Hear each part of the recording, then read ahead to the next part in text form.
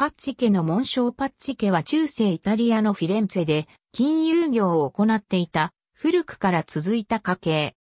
信仰のメディチ家と対立し、パッチ家の陰謀を起こした。ラニエリ・デ・パッチが11世紀にフィエーゾレからフィレンツェに移り住んだパッチ家の始祖とされている。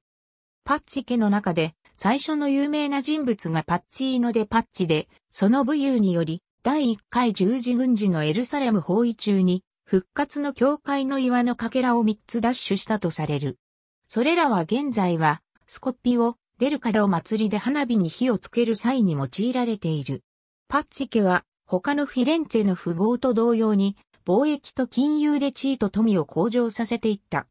強硬派に属し、ヤコポでパッチールベッキオはモンタペルティの戦いに参加し戦死した。次の世代には強硬派の黒派に属し、ドナーティー家と同盟を結んだ。ヤコポの息子、パッチーノも、戦士でバロア伯シャルルに従った。バルダルノにも同盟の家があったが、フィレンツェのパッツィ家が属した強硬派やフィレンツェ共和国との争いには関わらなかった。ダンテの新曲において、カルリーノ・デ・パッツィは地獄編の第9剣において裏切り者とされている。また、新曲には、カミッチオーネ・デ・パッツェもバルダルノの一族として登場する。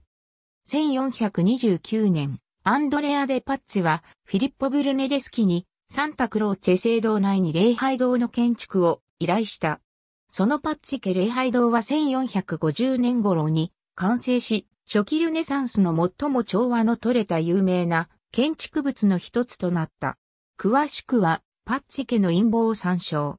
教皇シクストゥス4世はメディチ家の特権を取り消し、パッチ家に教皇庁の金融を任せたことから、両家の対立が激しくなった。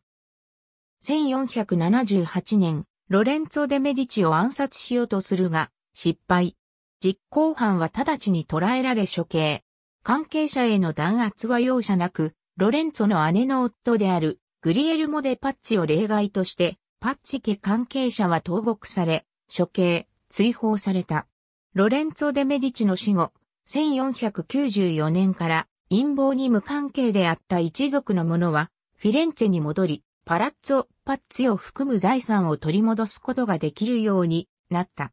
ロレンツォの義兄グリエルモは、有能な政治家、外交官であり、その息子コジモは1508年から1513年までフィレンツェ大司教を務めた。また、ラファエレは教皇ユリウスに制したの有名な傭兵隊長であった。パッチ家は陰謀以前ほどの富や地位の回復はできなかったが、他のフィレンツェの貴族、特にメディチ家と協調して存続し、多くのサントステファノ騎士団員、政治家、聖職者を輩出した。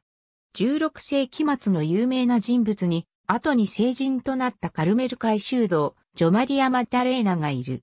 ありがとうございます。